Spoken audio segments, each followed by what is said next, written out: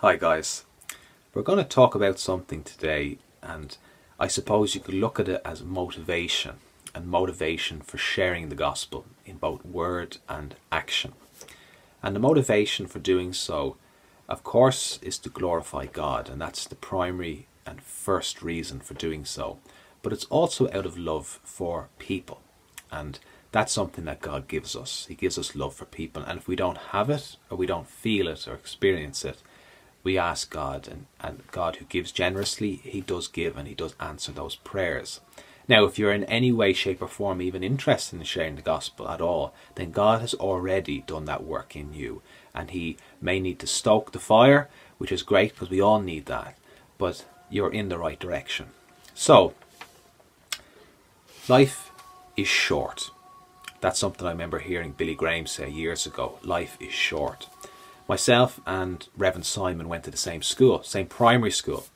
Now I remember my first day of school vividly and my last day. And the time in between that seems to be an almost timeless blur. But I remember starting in secondary school and we were asked to write or create a biography, a self-biography.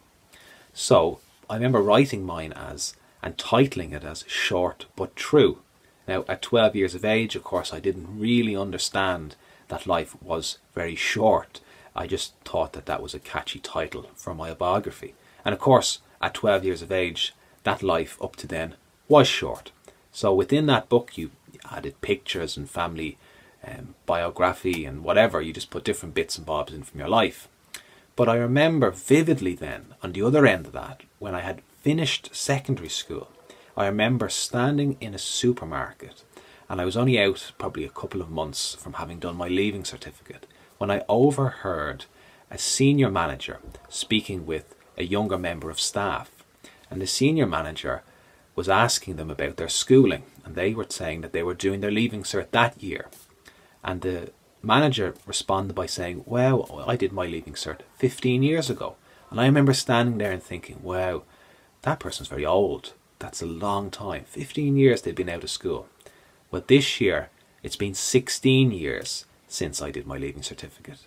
It's been over 20 years since I'd done that biography, and it's been 30 years since that first day of school. Time does fly very fast, and we feel as though the clock certainly doesn't slow the further down the line that we get.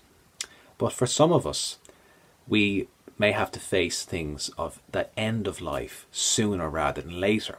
For many of us in our 30s, 40s, 50s, we generally try to think that we have the prerogative of pushing off that subject further, and in many cases we do. But we don't always. And it's very, very important that we do understand both the gospel and our reasons for sharing it with other people. Now, the action side of sharing is loving people, showing Christ to people through what we do.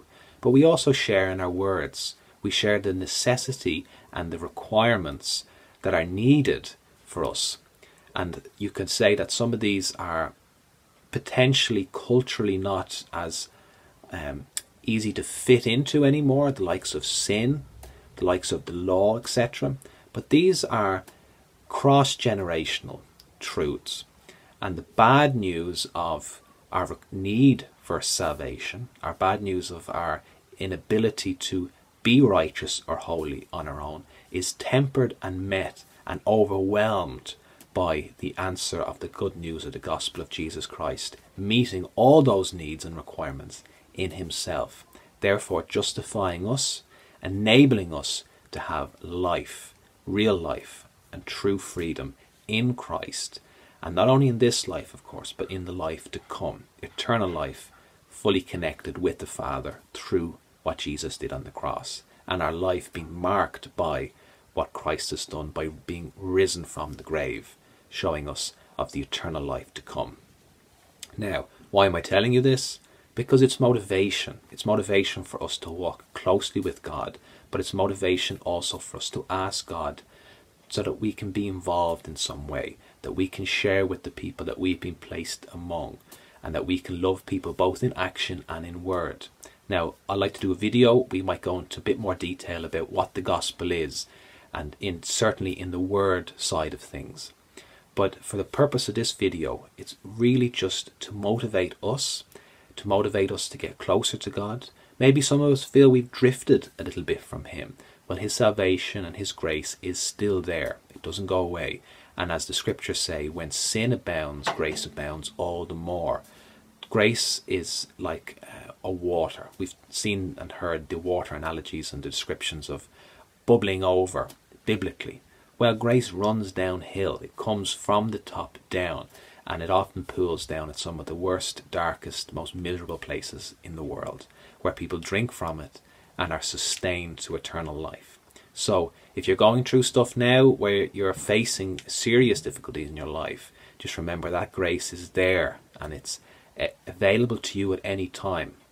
To come to Christ is to turn from our previous ways, and to come to Him is to believe Him and accept what He has done for us and what He's done on our behalf, that we can come to the Father through faith and we can be saved by that. And to be saved is to be brought back into that right relationship with God now and for eternity. So that's the motivation for us. I hope you guys stay blessed and we talk to you again soon. Bye.